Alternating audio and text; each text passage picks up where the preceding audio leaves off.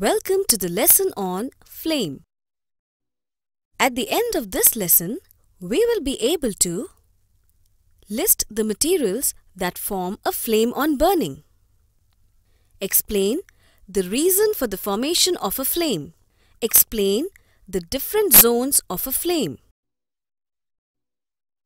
Dad, materials like candle, gas stove and kerosene lamp give a flame while burning. Why is this so?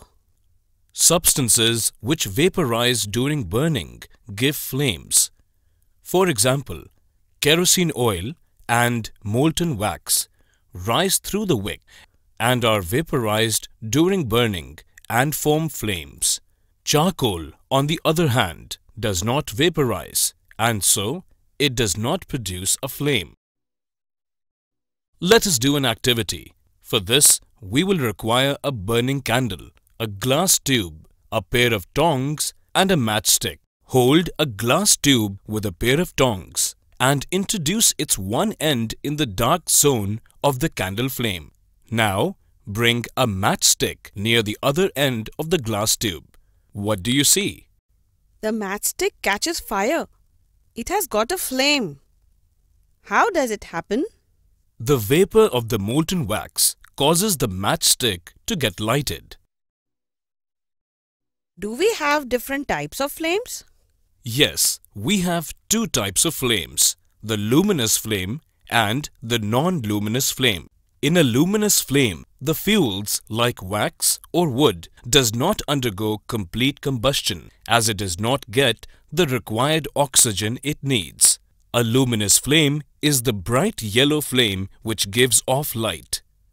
Let's do this activity to understand the feature of this luminous flame. When the candle flame is steady, introduce a clean glass plate into the flame. Hold it there with a pair of tongs for about 10 seconds. What do you observe? We observe that a blackish ring is formed on the glass. This indicates the unburnt carbon particles in the luminous zone of the flame.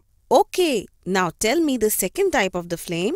Observe the outer edge of the flame. This is non-luminous flame. A non-luminous flame is colorless and is much hotter. This flame undergoes complete combustion as it draws much more oxygen and the flame gets much hotter. To understand this, let us perform an activity. We will hold a thin long copper wire just inside the flame for about 30 seconds the portion of the copper wire just outside the flame gets red hot. Yes, it indicates that the non-luminous zone of the flame has a high temperature. This part of the flame is the hottest part. That is why we find welders using flame to get high temperature to weld metals. There are three different zones of a flame. The outermost zone of the flame is blue in color and is the hottest part. It is due to the complete combustion of the fuel. The middle zone of the flame is moderately hot and is yellow in color. This is because of partial combustion of the fuel. The third zone is the innermost zone. This is the least hot zone and is black in color.